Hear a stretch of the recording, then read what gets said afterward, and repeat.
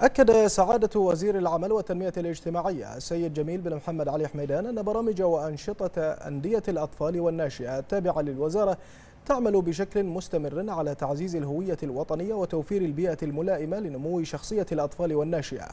كما وتسعى إلى صقل مواهبهم الأدبية والفنية والعلمية وتدريبهم وإشغال وقت فراغهم خلال فترات الإجازة الرسمية. وذلك للمساهمة في تنشئة أجيال المستقبل بما يسهم في خدمة المجتمع وتنميته. رؤية واضحة للنهوض بجيل مهني ومحترف ذو كفاءة عالية. هذا ما انتهجته وزارة العمل والتنمية الاجتماعية. وما هذه الزيارة لسعادة وزير العمل والتنمية الاجتماعية السيد جميل بن محمد علي حميدان إلا دليلا على حرصه واهتمامه بالناشئة وتوفير البرامج المناسبة لهم خصوصا خلال فترة الإجازة الصيفية. اليوم اطلعنا على مجموعة من الفعاليات بالأخوة من الفعاليات في مدينة حمد وشفنا شلون الطلاب يقضون أوقاتهم بشكل مفيد ويكتسبون الكثير من المهارات والكثير من تنمية الهوايات وقضاء يعني فترة العطلة الصيفية بشكل مفيد ومنتج. اكتشفنا أن عندهم مواهب كبيرة. المواهب هذه تتطور إذا تعززت بدعم من الوزارة من المركز نفسه. راح يكون هناك كثير من المبدعين في البحرين. نعتقد أن اليوم نحن في أمس الحاجة لهؤلاء المبدعين اللي ما أعتقد أحد يختلف على أن وجودهم في البحرين موجودين ولكن يحتاجون مزيد من الدعم اللي يبرز هذه الدور. نادي الأطفال والناشئة في مركز مدينة حمد الاجتماعي شهد خلال الأيام القليلة الماضية انطلاقة حزمة من الأنشطة والبرامج الصيفية فيه كما كان الحال في عشرات المراكز والأندية المنتشرة في أرجاء المملكة والتي احتوت على أكثر من عشرين برنامجا متنوعا موجها لفئة الأطفال والناشئة.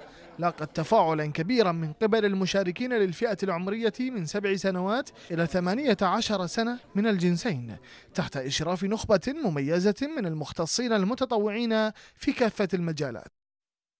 طبعا فترة الصيف إحنا نعرف فترة بالذات هالسنة مر علينا شهرين يعني مدة طويلة فالأطفال بدل ما يقضون وقتهم كله في النوم أو في الأشياء يعني اللي برا فتكون هني داخل أماكن إحنا مفتوحة أندية خاصة للأطفال والناشئة في المراكز الاجتماعية موزعة على جميع المحافظات تقدم برامج تدريبية وتنموية وتنمي مهارات وقدرات الأطفال في مختلف المجالات اللي عندنا الفنية والرياضية والثقافية والعلمية في شتى المجالات. حتى ممكن الطفل يكتشف نفسه يكون عنده قدرة أو تنمية في مهارة معينة بس ما يدري أنه هو عنده ترى مهارة ثانية فيكتشفها من خلال اندماجه أو دخوله الأندية هذه.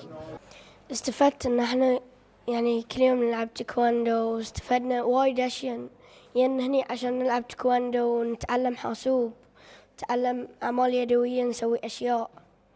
نسوي دمى نسوي أشياء. يعني نتعلم صدات باليد مال التايكواندو ندافع عن النفس. إحنا هنا المركز نستفيد منه وفي نفس الوقت نستمتع فيه. والحاسوب تعلمنا وايد أشياء يعني عشان إن نسيف المعلومات في الكمبيوتر في أشياء وايد تسيف هالمعلومات في نفس الكمبيوتر. علمونا الهجوم.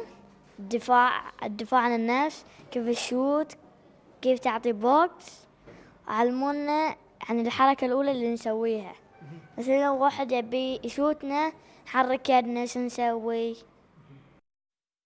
هذه الأنشطة والفعاليات التي تقيمها المراكز على مستوى المملكة شارك فيها أكثر من ألفي مشارك ومشاركة إيمانا من أولياء الأمور والمجتمع بضرورة تلبية اهتمامات المشاركين ودعم الحاجات الجسدية والنفسية والبيئية والاجتماعية لهم في مجالات الحاسب الآلي والاستكشاف العلمي والابتكار ومهارات التنمية البشرية والمهارات الاجتماعية لبناء الشخصية والحس القيادي والتوجيه المهني.